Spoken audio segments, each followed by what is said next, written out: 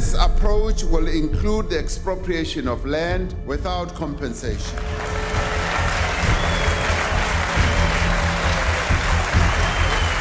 There has been an attempt to take land and just give it to people that have no knowledge whatsoever. Give us power, you will see what will happen. History is not only the domain of historians or academics anymore.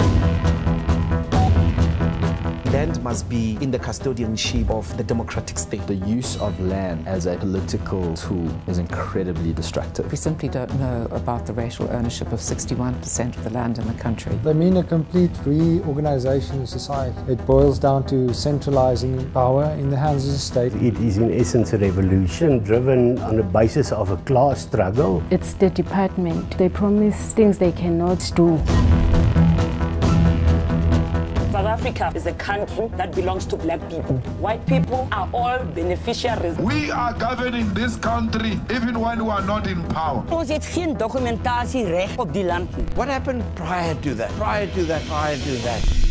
While the ANC presented itself as a proponent of liberal democracy in 1994, the organization maintained a policy that a national democratic revolution had to be implemented in South Africa. The first stage of the revolution was for the movement to obtain international support and control of the state.